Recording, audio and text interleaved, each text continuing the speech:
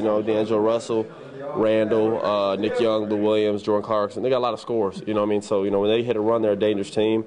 Uh, Ingram, Ingram played well too. Um, so they got a lot of good players, talented players. So you know, they hit a run, but you know, I thought I was more proud of the fact that we got it back. And you know, instead of folding and, and getting frustrated, we we were like, okay, they went on a run, let's, let's, punch them right back, and you know, we were able to do that.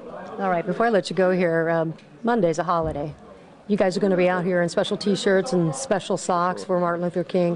When you put that T-shirt on and you know what it means, and you know, it's a hashtag, I have a dream, but there's so much more behind it than just the letters. Sure. You know, people I think just uh, represent the day just because they're supposed to and, you know, really don't understand the sacrifices that that man had to make. And not just him, but the people who were around him, the people who protected him, the people who believed in him, everybody really during that era of time, uh, what they had to sacrifice and go through.